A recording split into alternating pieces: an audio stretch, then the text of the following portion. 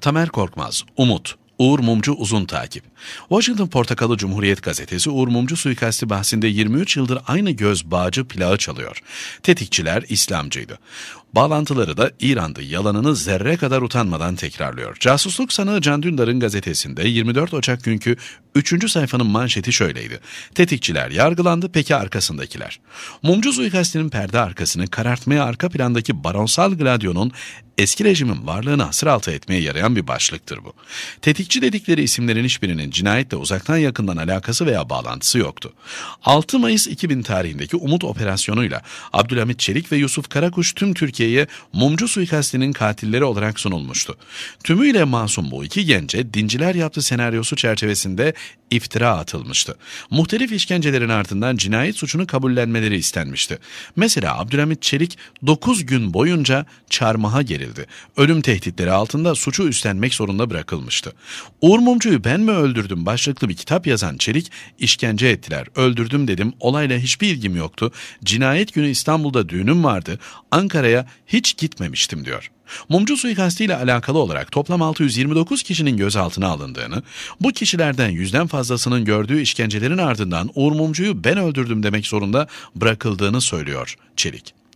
Eski rejim mumcu suikasti için katil siparişi vermiş. Zulüm piyangosu ilk elde Muhammed Çelik ile Yusuf Karakuş'a isabet etmiş. Karakuş mu Umut operasyonu öncesinde dağa kaldırılıp işkencelere uğramış ve ölüm tehdidi altında suçu kabul etmişti. Umut operasyonu çıkmaz sokak kabilinden çelişkilerle dolu umutsuz bir senaryoydu. Lastiği çabuk patladı. Suikast piyangosunda acilen ikinci perde açılmıştı.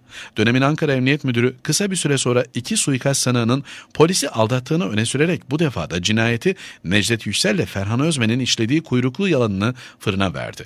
Umut davası duruşmasının beşincisinde 18'i tutuklu 20 sanıktan birisi olan Ferhan Özmen ilk kez savunmasını yapmış ve şunları söylemişti.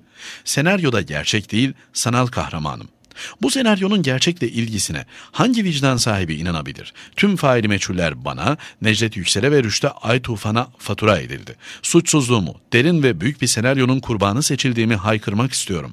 Bir gün bütün bu karanlıkların üstü açılacak, senaryonun utancı gözler önüne serilecek.